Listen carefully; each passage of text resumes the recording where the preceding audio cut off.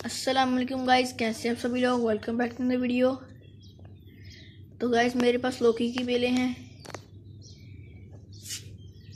Guys मेरे पास तीन लौकी की बेलें हैं, जो तकरीबन दो महीने की हैं। इनको मैंने शेडी एरिया में रखा हुआ जहाँ पे तकरीबन दो तीन घंटे की धूप लग जाती है। तो गाइस आज आज हम इनको पानी देंगे